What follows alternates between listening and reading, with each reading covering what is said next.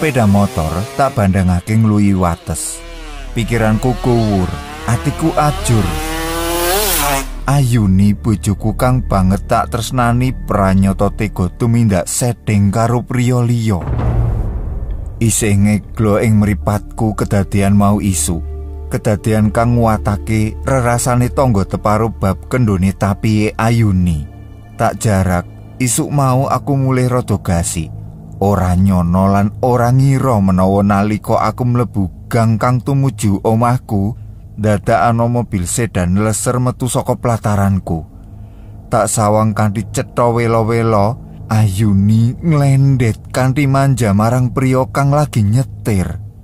Dadi yen mengkono, sasuwene iki bener rerasane tangga-tanggaku. Sepeda motor tansaya tak banterake. Speedometer nuduhake angka 110. Angin sumribit kaya-kaya napase malaikat maut kang wis siap jabut nyawaku. Atiku putek kasetyanku sasuwene iki pranyata mung kanggo dolanan dening Ayuni. Aku kepingin ngilangake wewayangane Ayuni saka memori utekku. Nanging ora bisa.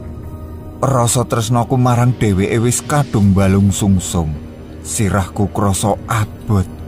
Kabeh-kabeh keputusan kang tak urut akhirnya mung ketemu siji. Aku kepingin mati. Lan embu setan ngendi kang ngongkon. Dumadaan tangan tengenku sumendal ngenggokake setang motorku.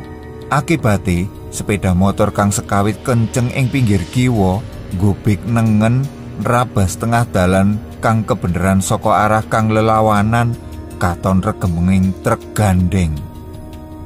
Aku merem dipet nunggu kedadian sateruse. Ora ana swara jumebrak kang tak rungu, ora ana swara jumedher kang tak ngerteni. Kang ana mung cahya kumilat padang ngilam-ngilami sapandurat ing mripatku.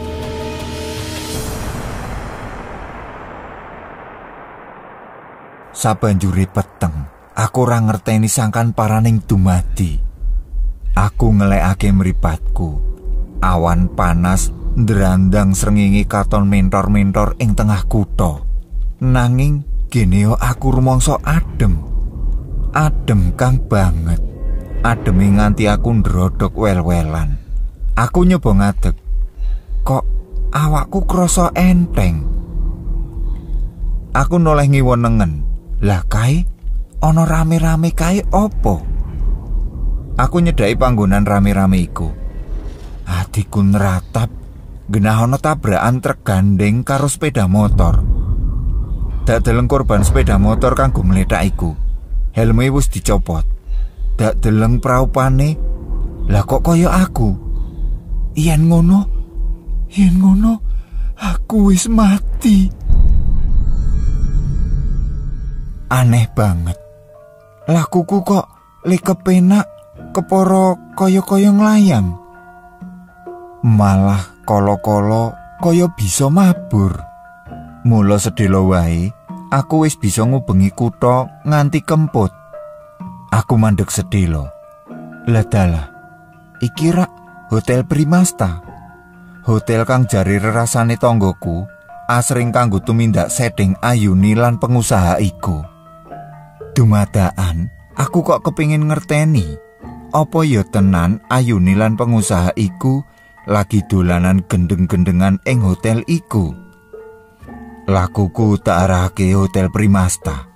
Kamar-kamar hotel tak leboni, ora masalah. Awit aku bisa nembus lawang lan tembok.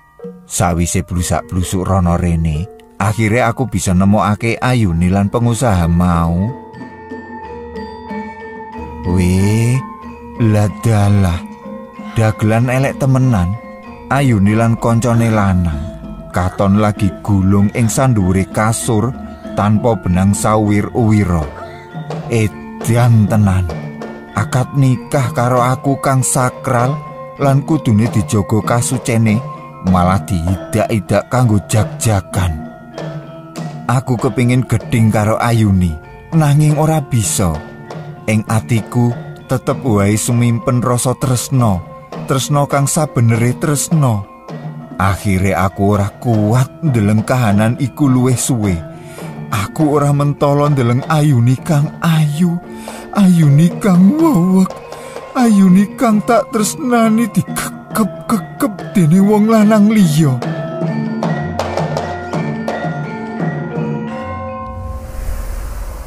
Aku balik nembus tembok metu saka kamar kuwi.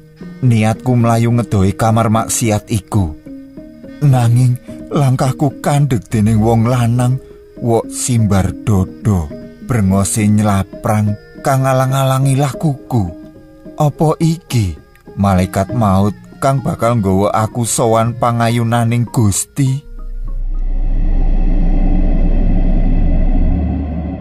Ojo kegeden kegayuan ujare wong lanang iku soro kaya ngerti marang sing tak pikirake Ora-orane wong mati nista kaya kowe kuwi dikanthi malaikat. Wong mati ngayut tuwa, bunuh diri kaya kowe kuwi, mong setan berkasaan sing gelem nemoni. Nanging aku rak tabrakan. Tuwuh kawanenanku bareng ngerti yen wong lanang kuwi ora liya bangsane jin setan gentayangan. Menungso goblok. Kowe ngremehake kawas kitane Gusti Kang Murbeng dumati. tabrakan karo sengaja nabrak kuwi beda. Mula mbok kira kowe bakal bisa tentrem ing alam kubur. Kowe kudu dadi geset, urip cintraka ing alaming lelembut lan kowe mudhun derajatmu dadi sangisore derajate setan. Aku jembleng. Gini dene aku kok mengurusi uripku dewi. urip kang kudune dijaga kadidene kanugrahan sing gedhe saka Gusti. Rasa mikir macem-macem. Ayo, saiki manuto. Tak ganti marah ing ngarsane raja setan ya sang iblis.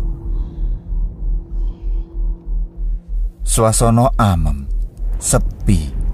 Tak sawang setan iku kanthi permati. Dedek piadeke kang gedhe dhuwur, kejem kering medeni. nanging kok kaya gemeter nganti tangane obah-obah grewelan. Aku ngwanekake aweh pitakonan. Loh, lah ngopo kok kowe gemeter? Apa ya kowe wedi karo aku? Bedes elek, menus kaya kowe kok diwedeni. Ngerti ya, aku iki asale saka geni. Mula ing bumi kene iki, aku krasa kademen. Demitiku tansaya nemen oleh grewelan. dumadaan aku oleh cara kang ampuh. Koe pengen awakmu dadi anget? Ya jelas pengen goblok. Karepen aku bisa nggodha menungso ing bumi iki sak senengku. Oh, nek ngono, ayo melu aku. Menyang endi? Wis to, manut to. Pokoke kowe bakal anget lan ora kademen. Ya wis. Neng yen kowe ngapusi, ditenono. Demit gimbaliku, manut lakuku tumuju ing lobi hotel. Embo ing kahanan kaya kepepet ngene iki, pamikirku kok rada mletik. Ing lobi hotel sisih kiwa, panggonan remeng-remeng panggonan para tamu padha suka parisuka. Kang tak jujuk deretan botol minuman keras. Tak setitekake kanthi permati, ana bir, whisky, drum, lan liya-liyane. Sengaja tak pilih drum minuman keras kang kadar alkohole nyanda angka patang puluh persen.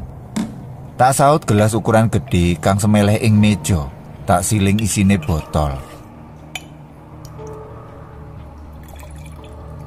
Iki, ombenen, mesti mari anggonmu kademen. Ujarku setengah merintah. Aneh, embo mergo kademen apa mergo liya, demitiku manut miturut pakonku. Omben-omben segelas gedhe iku dilonggo nganti entek. Meripati kriyip-kriyip katon lego. Eh, bener kondomu bocah. Rasane awakku dadi anget. Lah iki sing tak anti. Tak silingake meneh segelas gedhe. Nuli dilonggo meneh nganti gusis. Mangkono bola-bali nganti ora krasa luwih saka telung botol. Demit iku katon saya liep-liep, katone mabuk abot. Kuanenku tan saya gede. Tangane demit iku tak candak cek nuli tak geret metu. Ayo, saiki ngadep sang iblis. Ujarku Soro. Ayo. Semaure demit iku groyok. Wektu semono kahanan wis peteng ngancik wancine Sandyakala. Bagaskara wis ngrampungake tugase madangi bumi. Demit iku lakune gloyoran. Kanthi rerikatan tak geret mlaku tumuju papan parkir. Aku lingak-linguk sedelo. Wusana kang tak goleki ketemu. Mobil warna abang tua duwe pengusaha kang gondol bojoku Ayuni. Age-age demit mabuk iku tak lungguhake ing samburine setir. Sawise iku, aku balik mlebu hotel nyang kamar maksiat. Ayuni lan pengusaha iku katone wis rampung anggone tumindak nista. Lan embuh entuk kekuatan saka ngendi? Tangan kiwaku nyaut anggane Ayuni. Dene tangan tengenku nyaut anggane pengusaha iku. Aneh. Kok enteng banget. Ora kesuwen jasad loro iku tak gawa mlayu nuli tak brokake ing jok sedan sisih mburi. Demitiku malah turu senggar-senggur ana mburi setir. Kunci mobil kang kober tak jupuk saka sae pengusaha iku enggal tak tancepake lan tak puter. Nuli demitiku tak jawi. Wes, ayo, nggak mangkat. Demitiku geragapan. Sikile ketayalan midak gas. Mobiliku melesat kaya disawatake metu saka tempat parkir nembus petenging wengi nuli nabrak pager tembok. Gemrobyak suarane.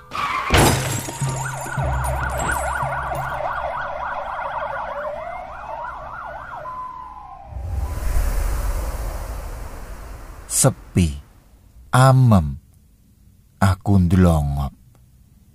Genio ayuni kang tak tesnani melu tak lebokake mobil iku. Aku ketuwung.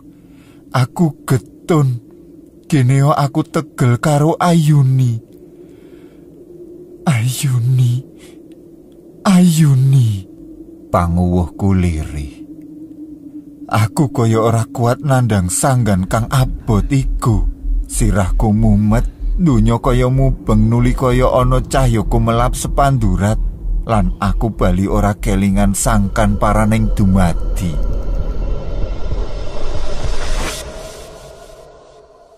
Naliko aku ngelekake mripatku, kahanan sarwa putih. Aku nyawang botol infus gumandul ing dhuwurku. Iki rumah sakit. Duh Gusti, matur nuwun. Eh nang, kowe wis sadar. Tak toleh ibuku kembeng waspo. A- aku durung mati, Bu. Ora le. Kowe ora mati. Mung ora sadar telung dino suwene. Ayuni endi? Ora usah mbok pikir jero le. Sundel kuwi rong dino kepungkur nemai kecelakan. Nabrak pagar tembok Hotel Primasta. Jur tewas bareng karo kendakane. Aku mlorok krungu ceritane ibuku. Dadi, apa kang kedadian iku dudu mung impen?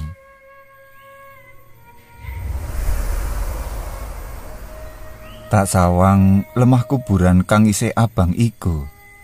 Krukang nyangga awakku tak genggam kenceng.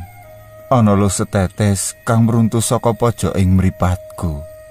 Ana rasa keduwung kang tansah gembuleng ngemuli batinku. Satus dina wis mungkur dina iki. Aku nyenyuwun, muga ayuni kang tak tresnani bisa oleh pangapura sakabehing dosane dening Gusti Allah kang Maha Suci.